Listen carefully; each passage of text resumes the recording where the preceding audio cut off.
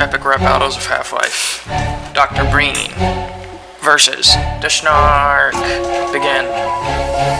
Let me tell you all the story of a crooked puppet master who blew himself apart in a fiery disaster. You tried to save the earth, but slaved the earth throughout the process. Betrayed your own kind, sold them out and fed them nonsense. I'm the snark, and I creep and I crawl through the halls. This old fart, Dr. Breen, is a geek with no balls. Once I'm thrown on the battlefield, everybody cowers. While you've never even seen a battlefield, cause you're a coward. Let me post this message directly to you, little beetle. If you're such a good weapon, why didn't you make it in the sequel? Any Half-Life veteran knows well to avoid you. Half the time you just attack the poor guy who deployed you. Tell me please if you would, man, why do you rhyme? You say so little and yet somehow waste so much of my time. Maybe you should give my private reserves a little chug. I'm the roar of the earth. You're just a stupid little bug. Very funny, old man, but watch I recall, you literally get turned into a slug because you died running from the frame and pants filled with doo doo. And this bug appears in two more half life games than you do.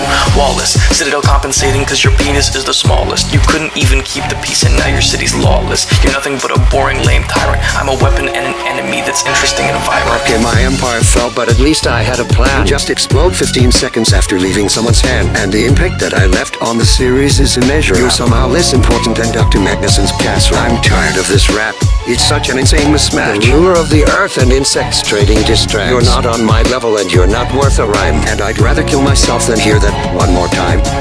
Who won? Who's next? You decide. Epic Rap Battles of Half-Life.